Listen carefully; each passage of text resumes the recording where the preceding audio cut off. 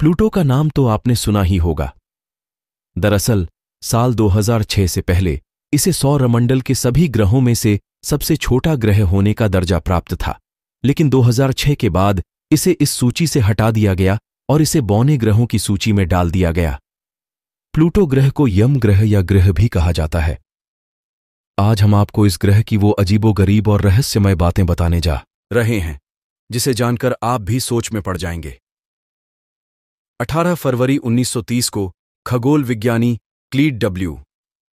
Tombaugh ने Pluto को गलती से खोज लिया था। असल में वह प्लैनेट एक्स नामक एक अज्ञात ग्रह की तलाश कर रहे थे, जो यूरेनस, अरुण ग्रह और नेपच्यून, वरुण ग्रह की कक्षाओं में गड़बड़ी पैदा कर रहा था। प्लूटो ग्रह का नाम ऑक्सफोर्ड स्कूल ऑफ़ लंदन में पढ़ने वाली एक ग्यारहवीं कक्षा की छात्रा वेनेशिया बर्ने ने रखा था। इस बच्ची का कहना था कि रोम में अंधेरे के देवता को प्लूटो कहा जाता है, और इस ग्रह पर भी लगभग हमेशा अंधेरा ही रहता है, इसलिए इसका नाम प्लूटो रखा जाए। प्लूटो को सूर्य का एक चक्कर लगाने में दो सौ अड़तालीस साल लग जाते हैं।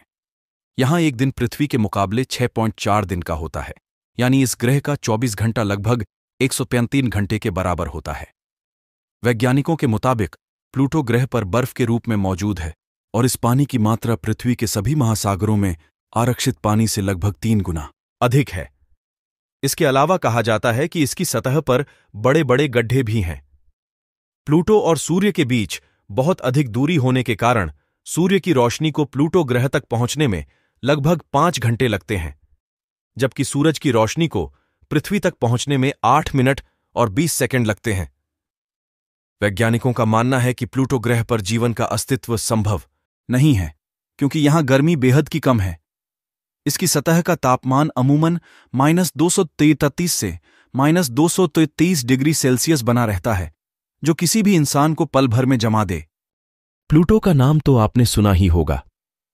दरअसल, साल 2006 से पहले इसे सौरमंडल के सभी ग्रहों में से सबसे छोटा ग्रह होने का दर्जा प्राप्त था, लेकिन 2006 के बाद इसे इस सूची से हटा दिया गया और इसे बौने ग्रहों की सूची में डाल दिया गया। प्लूटो ग्रह को यम ग्रह या ग्रह भी कहा जाता है। आज हम आपको इस ग्रह की वो अजीबोगरीब और रहस्यमय बातें बताने जा रहे हैं, जिसे जानकर आप भी सोच में पड़ जाएँगे। 18 फरवरी 1930 को खगोल विज्ञानी क्लीड डब्ल्यू, टॉम्बॉग ने प्लूटो को गलती से खोज लिया था। असल में वह प्लैनेट एक्स नामक एक अज्ञात ग्रह की तलाश कर रहे थे, जो यूरेनस, अरुण ग्रह और नेपच्यून, वरुण ग्रह की कक्षाओं में गड़बड़ी पैदा कर रहा था। प्लूटो ग्रह का नाम ऑक्सफोर्ड स्कूल ऑफ़ लंदन में पढ़ने वाली एक ग्यारहवीं कक्षा की छात्रा वेनेशिया बर्ने ने रखा था। इस बच्ची का कहना था कि रोम में अंधेरे के देवता को प्लूटो कहा जाता है और इस ग्रह पर भी लगभग हमेशा अंधेरा ही रहता है, इसलिए इसका नाम प्लूटो रखा जाए। प्लूटो को सूर्य का एक चक्कर लगाने में दो सौ अड़तालीस साल लग जाते हैं। यहाँ एक दिन पृथ्वी के मुकाबले 6.4 दिन का होता है। यानी इस ग्रह का 24 घंटा लगभग एक घंटे के बराबर होता है। वैज्ञानिकों के मुताबिक, प्लूटो ग्रह पर बर्फ़ के रूप में मौजूद है और इस पानी की मात्रा पृथ्वी के सभी महासागरों में आरक्षित पानी से लगभग तीन गुना अधिक है। इसके अलावा कहा जाता है कि इसकी सतह पर बड़े बड़े गड्ढे भी हैं। प्लूटो और सूर्य के बीच बहुत अधिक दूरी होने के कारण सूर्य की रोशनी को प्लूटो ग्रह तक पहुँचने में लगभग पाँच घंटे लगते हैं। जबकि सूरज की रोशनी को पृथ्वी तक पहुँचने में आठ मिनट और बीस सेकंड लगते हैं।